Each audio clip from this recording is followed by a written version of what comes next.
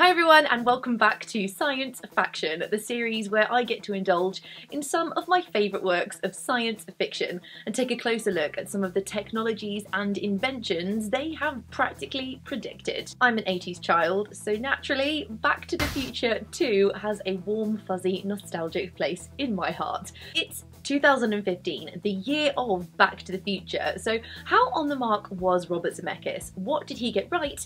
And what do we still have to wait for? Last year we were all massively teased by the hoax HUVr managed to play on the world, leading us to believe that hoverboards were finally here.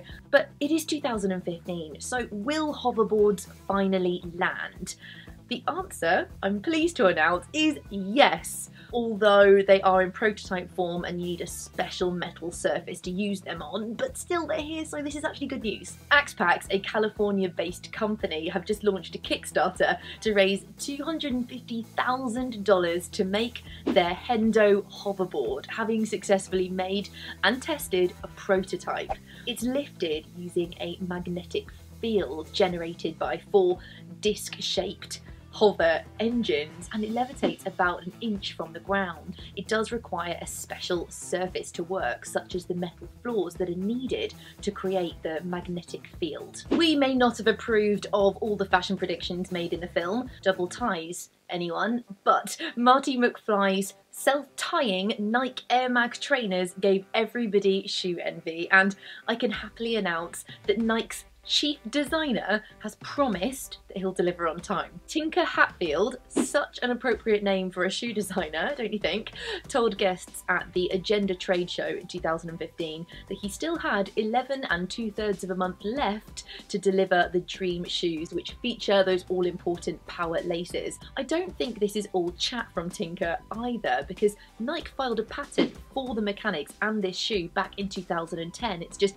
taken them all this time to acknowledge they're actually going to make them. Replicas of the shoes were made in 2011 when Nike sold 1,500 pairs for charity. Although they had the glowing LED panel on the heel and the light up Nike logo that we see on the trainers in the film, they didn't have the mechanics and those all important power laces. Still though, if we have the patent for the mechanics and the styled shoe ready and raring to go, it's only a matter of time and yes, they will be on my Christmas list.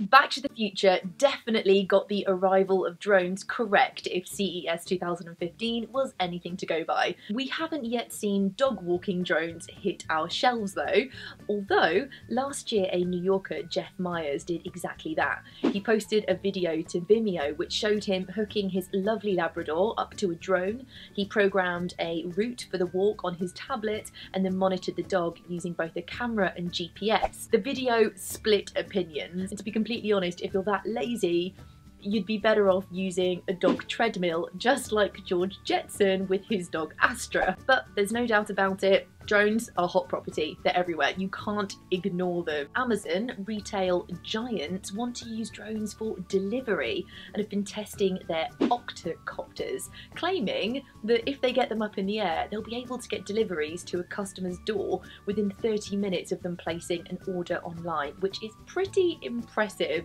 It's going to be a few years until this happens, as the aviation authorities haven't yet approved unmanned drones flying for civilian purposes so we'll have to watch this space.